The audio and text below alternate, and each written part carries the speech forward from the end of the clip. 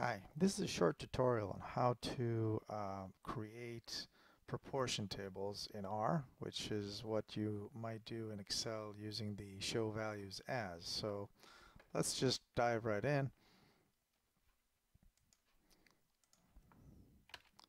I'm going to clean up the environment, load up the tidyr for pivoting. Let's read in a little um, a little data frame um, and write it to um, our working directory. I'll open it here. And it's just a very small uh, table consisting of countries, operating system, and how many installs we have. So if we throw that quickly into a pivot table,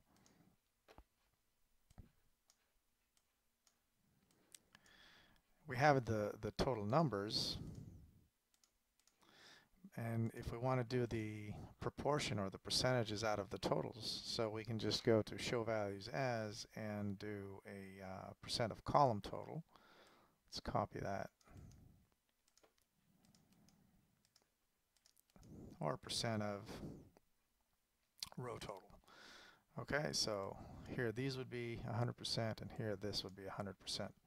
So how do we replicate that in R? Well, there's no easy way, unfortunately, and this is something that you might need to do uh, more than uh, here and there.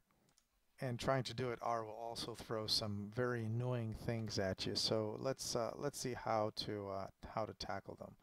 So here we got the uh, data frame, okay, that I imported from the from the Excel.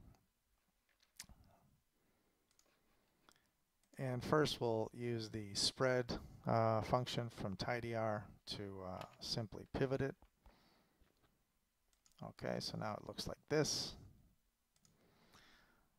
And now we want to create a prop table, and there's a function for that. Um, it's called um, uh, simply prop table. But the thing to know is that prop table uh, can only accept numeric uh, numeric vectors or matrices.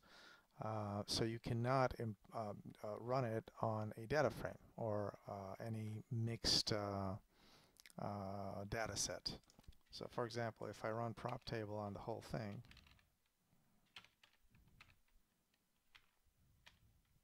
oops, sorry, then it's going to give me, it's only def, uh, defined on a data frame, which all numeric variables. So I actually need to subset df and only take the second and third uh, columns, okay, the Android and iOS, which are numeric columns, and then it's going to work. Okay, so then I'm going to have the um, uh, equivalent of show values as, uh, as percentage of rows. Now note that in order to get it on rows, I put 1 here. Okay, so I passed 1 to the prop table function. Uh, and the second annoyance that you uh, you get is okay. Let's let's have a look at it. Is that the countries are gone, right? You need to reattach the countries now. So that brings me to the third annoyance. Usually you do that with cbind, but what cbind does is it coerces everything into the uh, the same basic um, uh, data type. And in case there's a factor or, or a character it's going to make it all factors. And then you get a table of factors which is not what you want. So you need to use um, cbind data frame and then you're okay. So those are really the three things that you need to know. Um, one is that you can only uh, pass the numeric data types into the prop table uh, function. The second is that you're going to need to reattach the um, the factors or the character vectors that you had before. And the third is that you have to use cbind data frame to do it and not just cbind if you want to continue to uh, to work with that. And so now let's just have a quick look at columns. So same same thing. I'm going to call it df proportion or prop columns. And to uh, the prop table, I, I pass the same thing. Okay, so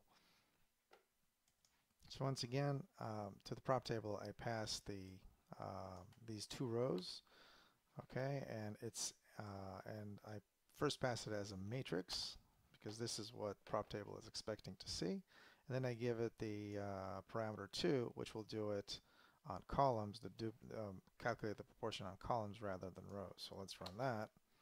And then again, I attach the uh, the country, and let's have a look at what that looks like.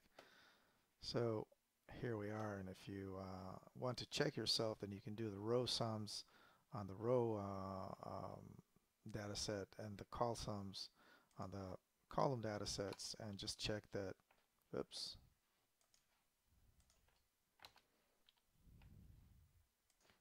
yeah, just messed around with it, so let's just run the whole thing a bit, just right down here.